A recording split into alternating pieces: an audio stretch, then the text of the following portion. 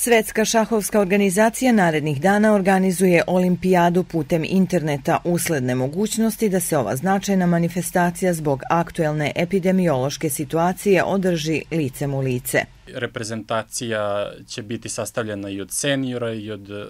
i od seniorki, i omladinaca i omladinki i svi će se rezultati zajedno računati, tako da je dosta specifično u odnosu na normalno kad su sve, sve da kažem, seniorska ekipa posebno nastupa, ženska ekipa posebno i rezultati za sebe, tako da ovo je neki novi sistem takmičenja i nekako ne znam šta ni da se očekuje, ali bit će interesantno za probu. Od marta do sada je izostalo više velikih šahovskih turnira za koje se Inđić pripremao u poslednje vreme igrao sam nešto malo preko interneta,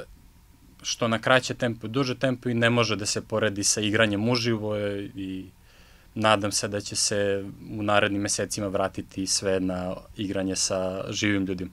Na internet olimpijadu prijavljeno je više od 150 nacionalnih timova, a Srbija, čiji tim čini desetak šahista, takmičenje počinje od 14. avgusta.